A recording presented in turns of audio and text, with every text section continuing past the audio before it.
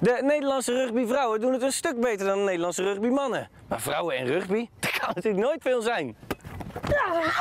Tessa, hoe komt het nou dat jullie zoveel beter zijn dan de Nederlandse rugbymannen? Wij zijn natuurlijk heel erg goed.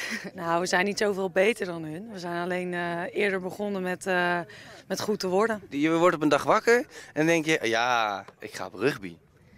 Ja, En Mijn ouders speelden allebei al rugby. Ik ben zelf... Je moeder ook. Mijn moeder ook. ik kom vanuit de turnwereld. En ik Dat is wil... natuurlijk een hele normale, normale overstap. Ja, precies. Nee, ik... Als je alle saltetjes kunt, dan ga je rugbyen. precies. En wat vind je dan van alle flauwe grapjes die er over vrouwen rugby gemaakt worden? Nou, bij mij in de buurt zeggen ze daar niet zoveel over. Nee, dat begrijp ik als ik je zie. Dat zou ik ook niet durven zoveel grapjes erover maken. We zijn hartstikke leuke meiden, dus kom ik hier langs. En geen man-vrouwen. Geen man-vrouwen. Nee.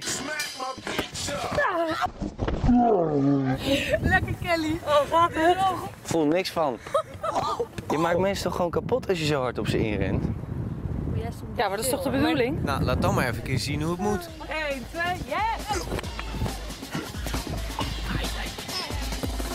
Ik dacht altijd dat mijn hand dan hier moest. Ja, dat dacht jij maar.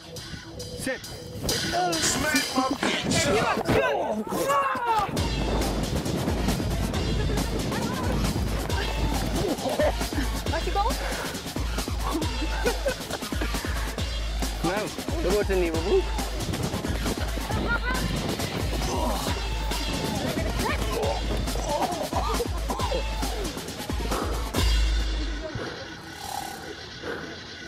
Ik ben er klaar mee. Oh.